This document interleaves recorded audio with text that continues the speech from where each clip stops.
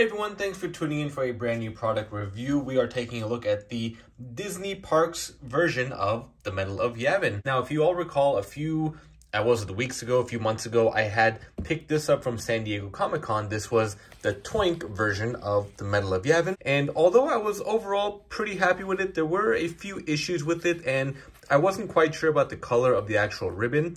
Now I have come to find out that this ribbon color is not accurate. This is what we do see on the, so to speak, the enhanced versions or the color corrected versions, but the actual color of the ribbon is more closely associated to the Disney Parks version. And as you are about to see, the actual medal is a hell of a lot more accurate on this one than the Toynk version. I mean, even the size alone, if I put them next to each other, you can see that size difference. The thickness is about the same, I would say, except on the Toynk version, there's this weird little bridge that I guess is used for the ribbon, whereas here, they put it inside. So that right off the bat is telling me how much better the Disney Parks version is, and it was actually cheaper. I think this one before my Magic Key discount was maybe 30 or $40. Let me see if I have a price tag on here. Yeah, $30 plus a Magic Key discount, whereas this one was, I think, $50, maybe $60.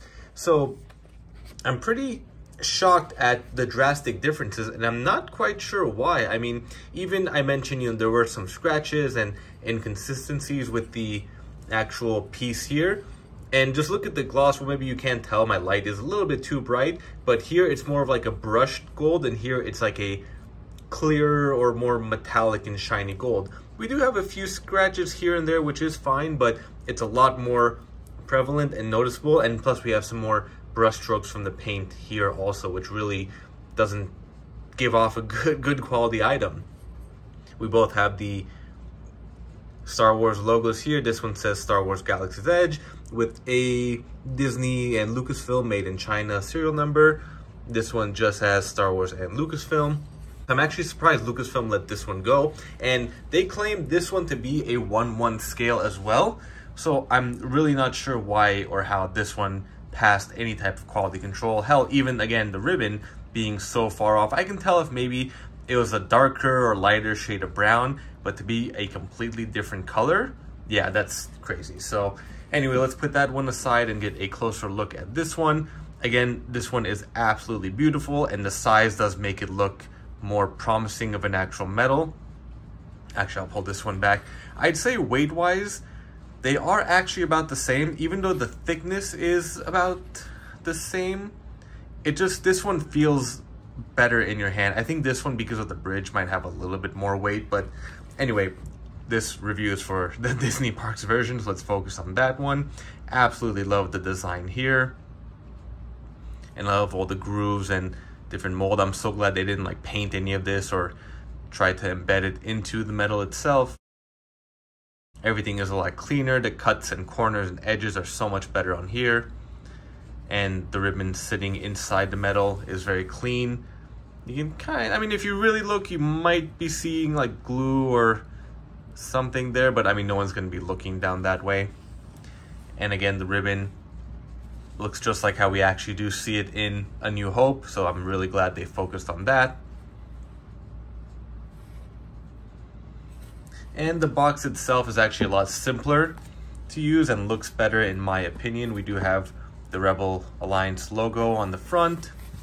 Again, just the price tag on the back. Let me see if I can actually take that off now. Oh, and that came off pretty easily. So look, we have a clean bottom now.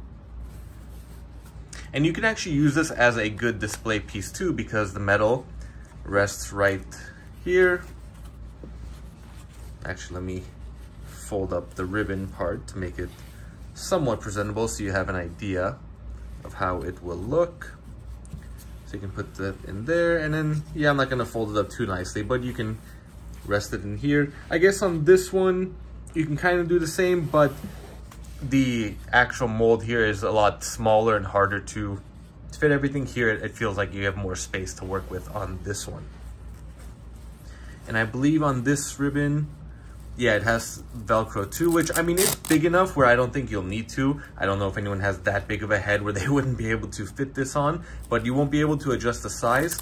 You just, uh, one size fits all as long as you can get it around your neck. And I don't believe the other one had any type of, no, yeah, it was just a uh, one piece ribbon on that one. So yeah, super quick, super simple review. I just wanted to come on here to show that off and give you all a fair warning that the Disney Parks version is the more accurate and better and more more affordable version, which I'm still just shocked at. Almost half the price and you're gonna get something more accurate, which again is surprising because a lot of times Disney Parks items or replicas are not that accurate. It's a very hit or miss. One reason why I did not pick up the Mon or the Mon Cala, but calamari calamari fun from Mon Cala, their currency, which it's horrible. And I actually did pick up some uh, Etsy creator independent artist version of that, so it looks a hell of a lot better. But then we have this one, which looks absolutely spot on. And then you have the lightsabers that are all chunky and flawed, and just that's a whole nother story. But yeah, there you have it, folks. The Disney Parks Medal of Yavin. I highly recommend it. Definitely preferred this one over any other version. If you have any questions or comments, feel free to leave them down below. Thank you all for watching. Be sure to like my video, subscribe to my channel, and stay tuned for future videos.